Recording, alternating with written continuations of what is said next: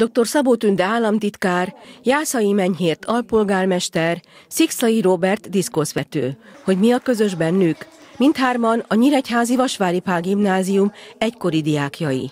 Az Emlékkönyv szerkesztőbizottsága egy évvel ezelőtt tett közé egy felhívást, amelyben arra kérték a volt tanítványokat, írják meg az emlékeiket az Alma Materről. Ezekből a történetekből és a tanárok visszaemlékezéseiből állították össze a kötetet. Dr. Szabó Tünde is szívesen látogat vissza diákévei helyszínére.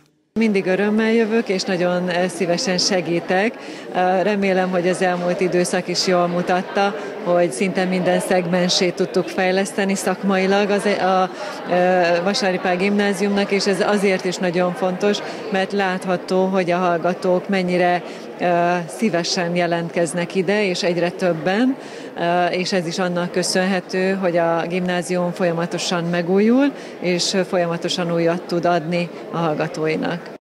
A résztvevőket köszöntötte dr. Ulrich Attila alpolgármester, aki elmondta, a gimnázium ma az egyik legjobb középiskola a városban. Kovács Ágnes, az intézmény vezetője bízik abban, hogy a visszaemlékezéseken, interjúkon keresztül az olvasók képet kapnak az elmúlt évtizedek történetéről, és arról is, hogy mi jellemzi ma ezt a nagymúltú iskolát.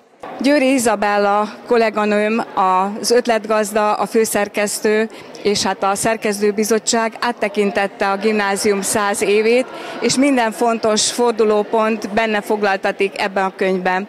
Ajánlom mindenkinek, olvasmányos, szép kiadványról van szó. A most megjelent emlékkönyv bemutatója a Jubileumita névrendezvényeinek egyik kiemelkedő állomása. Március 26-án alapítványi bára várják majd az érdeklődőket a Vasvári Pál gimnáziumban a járványügyi intézkedések betartása mellett.